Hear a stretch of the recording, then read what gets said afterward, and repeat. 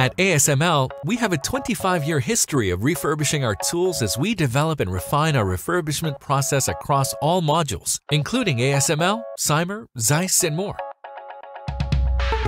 We start planning our refurbishment activities a full year in advance of the output date.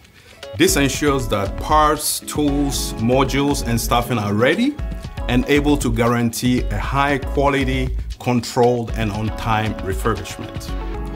We have refurbished 400 PAS tools, which represent a quarter of the install base.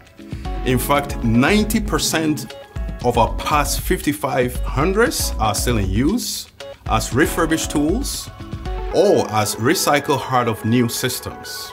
The results?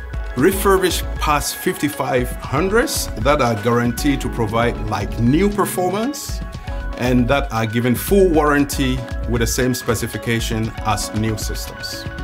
We are proud of this approach because it ensures value for buyers and sellers while also generating positive impact on the green economy of the semiconductor industry as we minimize demand for new materials and reduce waste.